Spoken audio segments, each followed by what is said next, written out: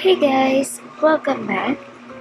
Today we're going to talk about the tire size for the 2019 Ford Transit 250. And if you are looking for the tire size for your 2019 Ford Transit 250, I have already looked it up. Just check the video description and I will try to leave the info there as well. The tire size for the 2019 Ford Transit 250 is 235 65 60. Driving on bad tires is terrible for your car and a danger to you. Worn out, old, and damaged tires cause unnecessary wear and tear on your car.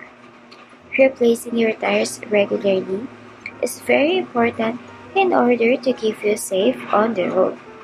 So once again, the tire size for the 2019 Ford Transit 250 is 235 65 60. And if you know a cheaper place to buy tires for your car, make sure to leave a comment and let the rest of us know.